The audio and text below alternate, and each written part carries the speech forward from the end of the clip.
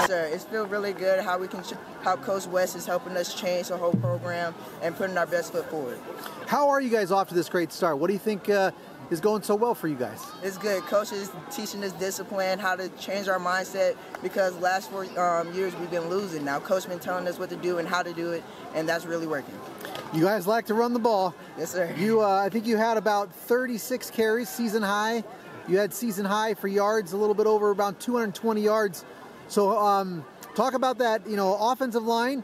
Uh, yes. You know, and you guys that physical mentality that you guys have. Yes, we could not do all what we do on the field without our offensive line. Our offensive line carries the team.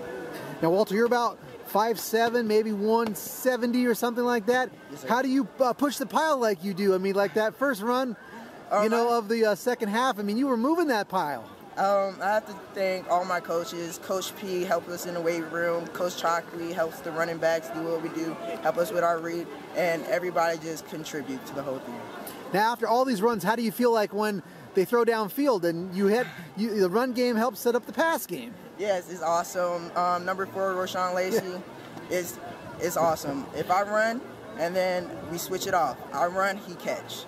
You just went first a little bit tonight. They yeah. went second, so well, congratulations. Thank